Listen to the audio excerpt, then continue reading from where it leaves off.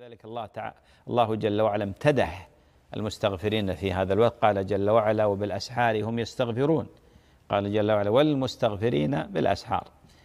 وفي عند مسلم من حديث أبي هريرة أن النبي عليه الصلاة والسلام قال ينزل ربنا حين يبقى ثلث الليل الآخر إلى سماء الدنيا.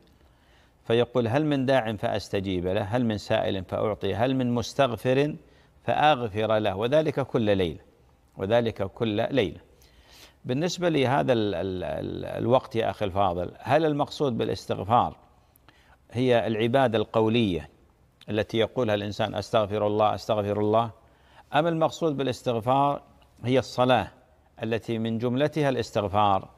من أهل العلم من ذهب إلى أن المقصود بهذا العبادة القولية على أنه يجلس في هذا الوقت بعدما يوتر ويقول أستغفر الله أستغفر الله أو أستغفر الله الذي لا إله إلا هو الحي القيوم وأتوب إليه أو أستغفر الله العظيم.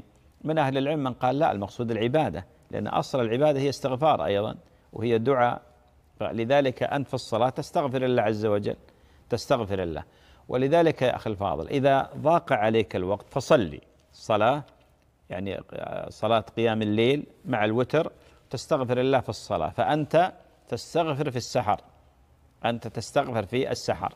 إذا والله أخذت قدرا عظيما وكبيرا من الصلاة وقراءة القرآن بقي عندك وقت لا حرج.